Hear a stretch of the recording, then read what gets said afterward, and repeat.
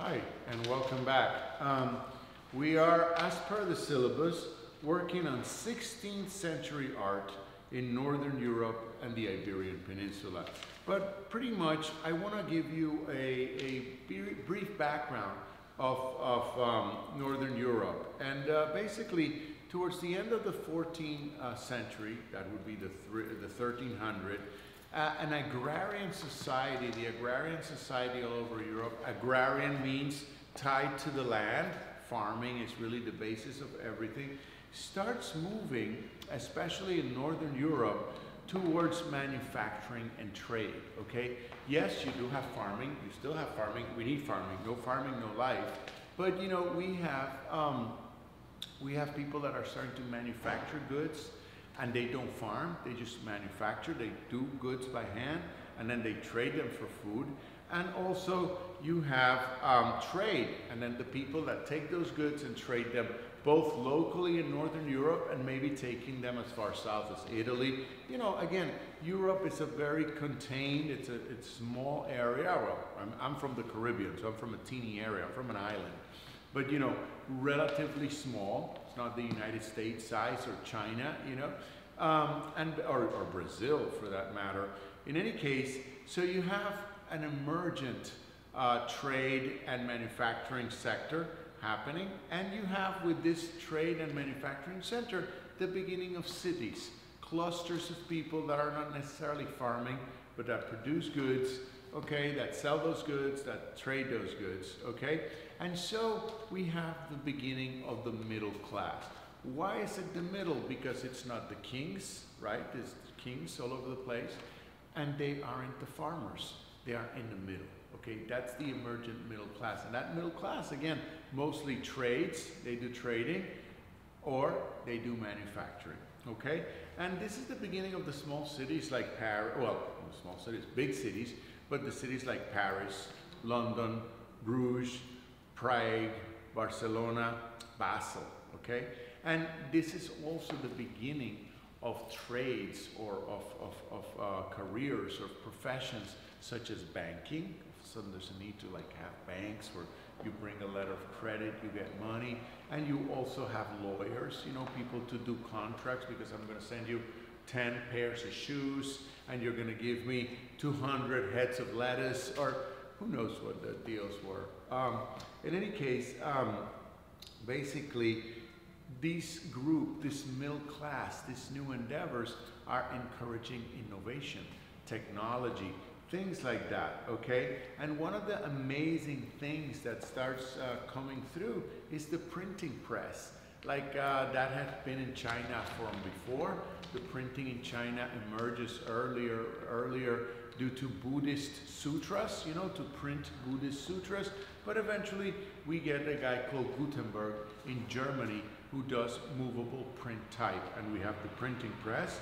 And, um, and anyway, and we're starting to see a little bit of the beginning of the global economy of today, the one that just stopped because of the coronavirus, right? So, so we have this, this things going on. And, um, and again, we're talking about Northern Europe, we're going to talk about the Netherlands. I want to talk about art in this context, right at the time of the Renaissance. And what's going on super important? Well, the thing that you must remember, you know, 14th, 15th century, you know, is that first of all, the Catholic Church is no longer the one church.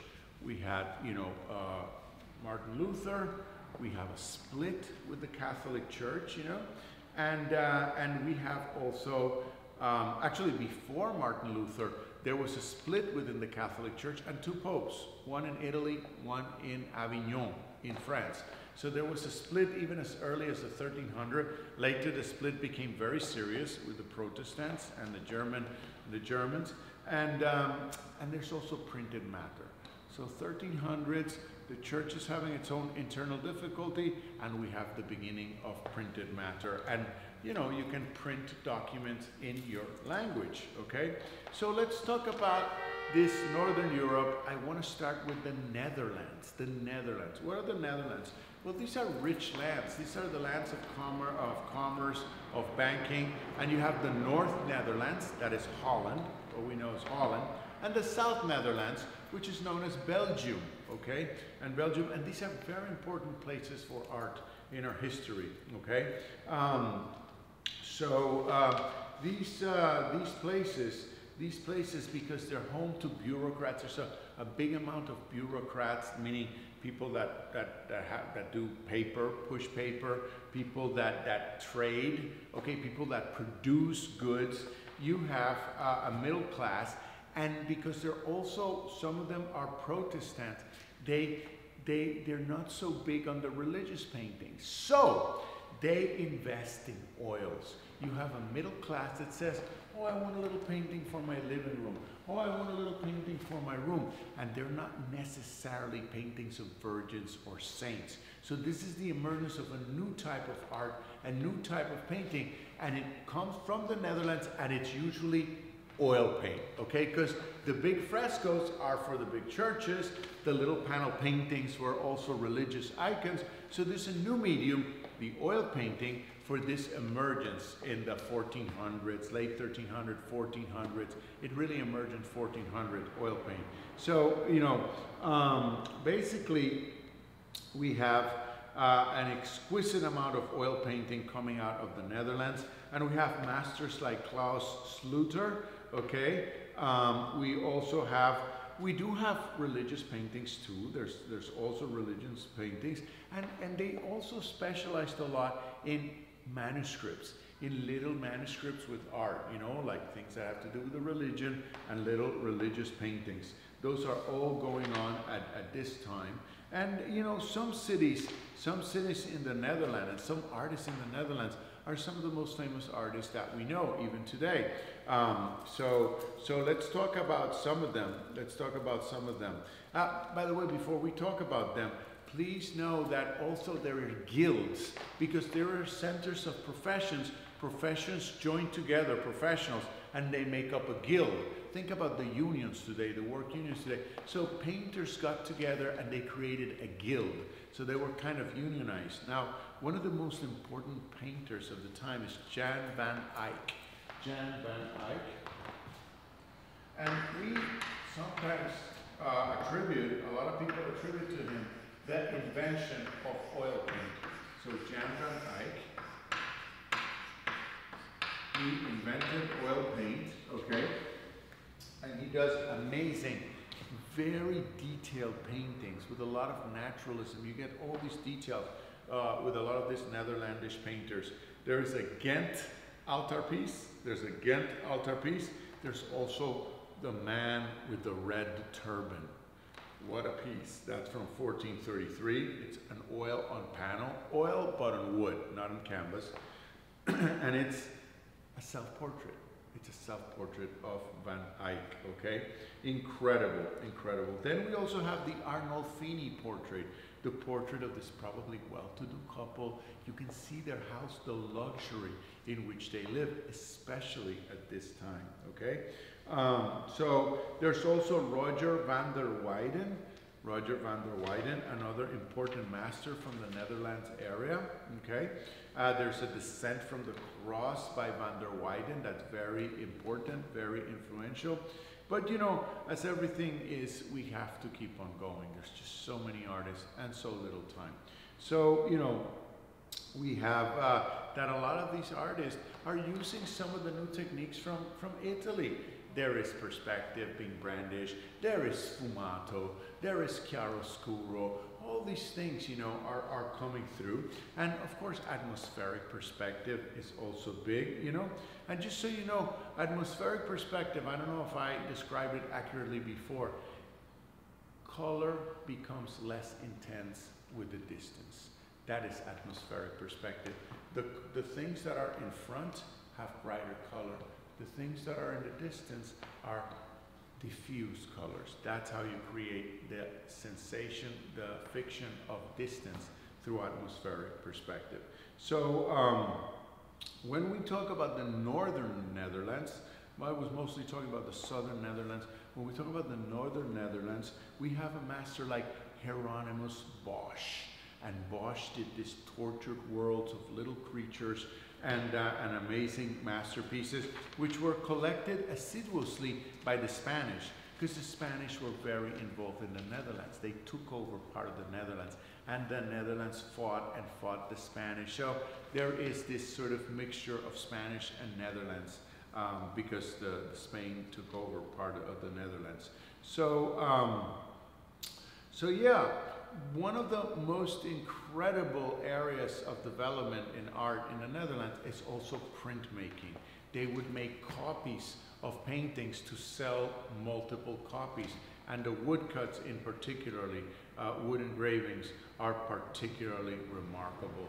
And of course, one of the greatest of the, of the, of the visual artists, both a painter, but for woodcuts especially, is Albrecht Dürer. When I showed you at the beginning the different print mediums, I showed you Albrecht Dürer. So um, that kind of gives you a sense of what's going on in the Netherlands at this early stage. But then why don't we continue, since I have your attention, why don't we continue to the 16th century, the, uh, the 1600s or the 17th century. Let's keep going with the Netherlands to the 17th century, okay? And there we have the Habsburgs, okay, the Spanish Catholic monarchs, you know, are, are on top of the Netherlands. They're trying to keep the Netherlands from being Protestant.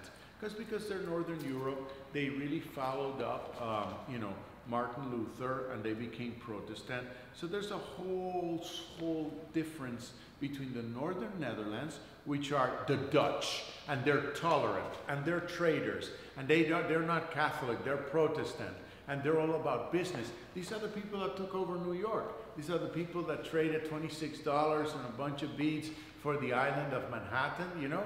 Uh, these are the Dutch. And on the south, you know, and on the south, you have the Catholics, okay? You have the Catholics. So in the north, you have Holland, um, and you have various schools, Amsterdam, Haarlem, Utrecht, Leiden, and Delft, okay? Also, at this point, we've moved on, right? We started more in the 1500s. Now I'm all the way in the 1600s. Now you have the birth of the great corporations painting becomes the way of depicting the board of directors of the corporations. It's not religious painting. We have paintings about things, luxury items, paintings about landscapes, paintings like all kinds of genre paintings. And in the midst of all this, we have corporate paintings. Oh, you have a company. And the biggest company at this point, or one of the biggest companies, is the Dutch East India Company, a company that sent ships that invested. People came together, everybody put $5 till you have $5,000, and then they sent their ships uh, to the east. They send their ships, they, they, the tea, you know, from Ceylon, you know, that kind of thing. So you have a lot of paintings that have to do with board members. And basically, um, that's the north. Then in the south, you have the Catholics. You have a place like Flanders, you know, and you have the greatest painter, perhaps Netherlandish painter of the era, a guy called Rubens, Peter Paul Rubens. And basically, by now, when we're talking about the 1600s, we're talking about the Baroque. Barroco is a Portuguese word for a pearl with a defect. When you have a pearl, you know, pearls are perfect, round, very shiny, smooth. And if it has a defect, you can see it, but it's still a perfect object with a little defect. So that's the word barroco. That's what comes after mannerism.